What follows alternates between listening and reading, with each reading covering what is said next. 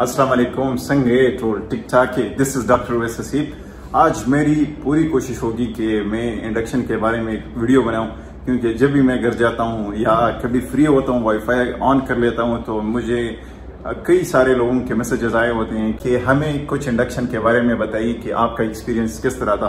तो मैंने सोचा कि क्यों ना एक वीडियो बना के आप लोगों के साथ मैं शेयर करूँ, आपको बताऊँ कि मेरा एक्सपीरियंस इंडक्शन टेस्ट में किस तरह था। M B B S complete करने के बाद और एक साल हाउस जॉब करने के बाद। If someone is planning to stay in the country और वो इसके साथ साथ अपने मेडिकल करियर को भी जारी रखना चाहता है तो वो मेडिसन सर्जरी रेडियोलॉजी या एनेस्थीसिया में F C P S part one देता है, जिसमें अगर वो पास हो जाता है तो वो एक स्पेसिफिक हॉस्पिटल के स्पेसिफिक वार्ड और अपनी पसंद की स्पेशलिटी में तब ही इंडक्ट होता है, जब वो पी जी एम आई के इंडक्शन टेस्ट को दे। टेस्ट के बाद सिलेक्शन का क्राइटेरिया एग्रीगेट के बुनियाद पर होता है, जिसमें 75 परसेंट ईटा के मार्क्स 20 परसेंट सारे प्रोफेशनल ईयर्स ऑफ़ एमबीबीएस या बीडीएस के मार्क्स और 5 परसेंट पेरीफ्री में एक्सपीरियंस के मार्क्स काउंट होते हैं। टेस्ट का फॉर्मेट पीजेएमआई के इंडक्शन वेबसाइट पर यह दिया गया है, लेकिन यह है कि इसका कोई फॉर्मेट डिफाइंड नहीं है। कई से भी कुछ भी आ सकता है। ये आपने लाजमन अपने जहन में याद रखना है। तो टेस्ट में एम तकरीबन 100 होते हैं। ड्यूरेशन जो है टाइम ड्यूरेशन वो 120 मिनट्स का है टू आवर्स का है। तो इसमें अच्छा खासा टाइम मिल जाते हैं मतलब आप कर सकते हैं। दूसरी बात यह है कि इसमें बुक्स कौन कौन से मैंने पढ़ी थी। तो मैंने तकरीबन पाँच बुक्स पढ़ी थी और चूँकि मेरे साथ एक गुड सम ऑफ़ टाइम था तो मैंने आहिस्ता आहिस्ता करके सारी पढ़ ली थी। ज़रूरी नहीं है कि मतलब एक बंदा मेरी जैसी स्टडी करे और मेरी जिस तरह उसके साथ पास हो जाए, ये मेरी एक्सपीरियंस है। तो मैंने तो इस तरह किया था कि अक्सर लोग इस तरह कहते हैं कि हम स्टेप्स की स्टडी के साथ भी कर सकते हैं और दूसरी बात यह है कि हमने सिर्फ़ फ़र्स्ट एड को पढ़ के ही इंडक्शन पास किया था। कुछ लोग कहते हैं कि हम, हमने पास मेडिसिन को पढ़ के ये इंडक्शन टेस्ट पास किया था।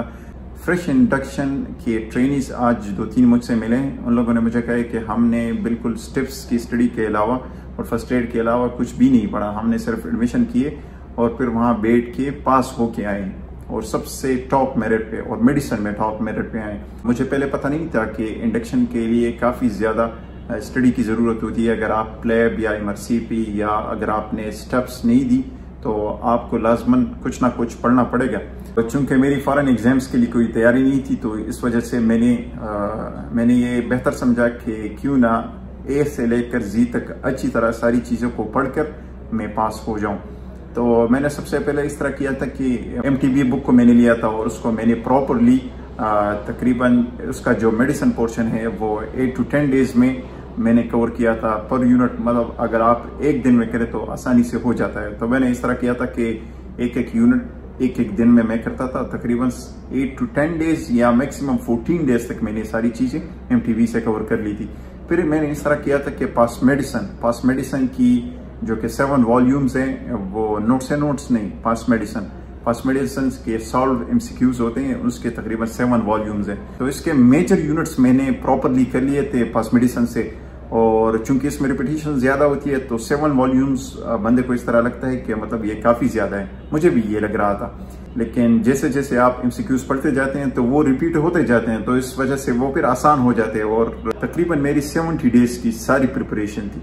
सबसे इम्पोर्टेंट बुक जो कि मैंने पढ़ा था और जो कि मैं भी रिकमेंड करता हूँ कि आपने उसको लाजमन पढ़ना है पीजीएमआई के इंडक्शन टेस्ट के लिए, वो है पीजीएमआई एंड एक यू बुक जो कि जिसमें कम्युनिकेशन स्किल्स होती हैं, जिसमें इंग्लिश होता है, जिसमें स्टेटिस्टिक्स होते हैं बायो एथिक्स होते हैं तो ये चीज़ें बहुत ज़्यादा इंपॉर्टेंट इस वजह से हैं कि इसमें बहुत सारी चीज़ें मैंने बिल्कुल पढ़ी नहीं थी, आप लोगों ने भी नहीं पढ़ी होगी तो आपने बायो एथिक्स को पढ़ना है, फिर उसके साथ उसमें स्टेटिस्टिक आते हैं इंग्लिश आता है तो कम्युनिकेशन स्किल्स होते हैं तो आपने वो सारी चीज़ें लाजमन पढ़नी हैं, क्योंकि ये मैंने पढ़ी थी और इसने मुझे बहुत हेल्प किया था। और इसके साथ साथ एक रेलिवेंट नोट में यहाँ पे ये एड करता चलूँ कि मुझे ये बुक काफ़ी मुश्किल लग रही थी। तो मैंने इस तरह किया कि एक दिन भी मैंने इस बुक को नहीं दिया। मैंने इसके लिए एक हेक निकाला था क्योंकि तकरीबन सेवेंटी डेज़ की मेरी सारी प्रिपरेशन थी। तो उसमें जब मैं पास मेडिसन या एमटीबी या फ़र्स्ट एड को या कुछ और सोर्सेस को मैं पढ़ रहा होता था तो इसके साथ मैं एक एक घंटा रोज़ाना की बुनियाद पे मैं इस पी एंड एक यू बुक को देता था, क्योंकि ये एक ड्राई सा बुक है और बहुत सारी चीज़ें इसमें नहीं है। तो बंदे के लिए थोड़ा सा मुश्किल हो जाता है उसको डाइजेस्ट करना, उसको समझना। अमेजिंग बात यह है कि एक एक घंटे से तकरीबन 70 डेज़ में 70 आवर्स पर बन जाते हैं। और कभी कभार कुछ ज़्यादा भी मैं उसको देता था तो ये इसके साथ कवर हो गया था। और बड़ी अच्छी तरह से ये कवर हो गया था।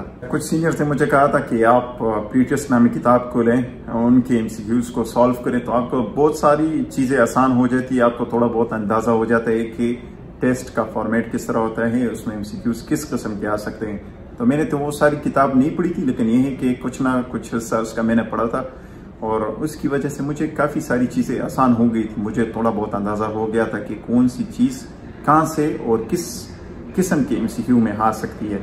इसके साथ साथ मुझे ये कमी महसूस हो रही थी कि मेरी बहुत सारी चीज़ें फॉर एग्जांपल इम्यूनोलॉजिकल जो कि प्रोसेस हैं इम्यूनिटी है B T cells mixed neutrophilic जो डिसऑर्डर्स होते हैं, जो सिंड्रोम्स होते हैं, जो कि मेटाबॉलिज्म है, ये सारी चीज़ें मेरी कमज़ोर है।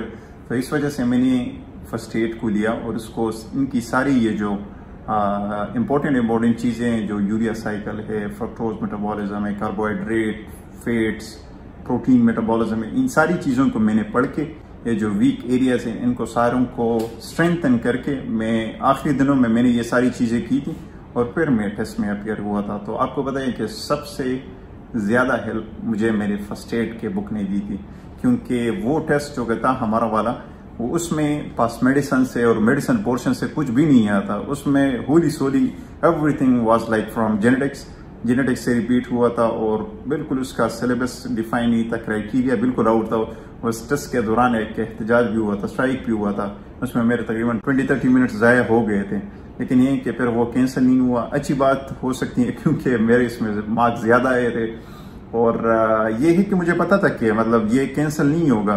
क्योंकि ये हमेशा से आउट ऑफ़ बॉक्स आता है आउट ऑफ़ सिलेबस आता है, इसका कोई क्राइटेरिया डिफाइन नहीं है। लेकिन बात यह है कि मैंने अपनी तैयारी तकरीबन मुकम्मल की थी तो इसलिए I got inducted in my favourite ward तो चूँकि ये एक बहुत ही वेरिएबल चीज़ है तो कुछ लोग सिर्फ़ फॉरन एग्ज़ाम्स की स्टडी करके पास हो जाते हैं। कुछ लोग ये सारी जो मैंने आपको बताई है मेरी वाली एक्सपीरियंस से पास हो जाते हैं। और मे भी कुछ लोगों के दूसरे कुछ रूट हो सकते हैं। मैं आपकी जगह होता तो मैं अपनी सारी तैयारी मुकम्मल करके ही मैं इंडक्शन टेस्ट में बैठता क्योंकि इससे हमारे चांसेस काफ़ी ज़्यादा बढ़ जाते हैं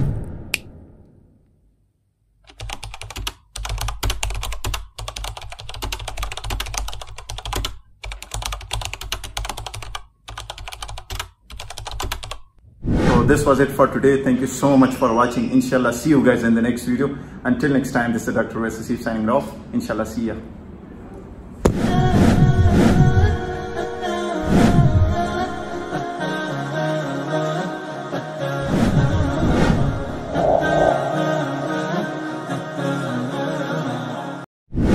सारी चीज़ें करके पास मेडिसन पीजेएमआई का जो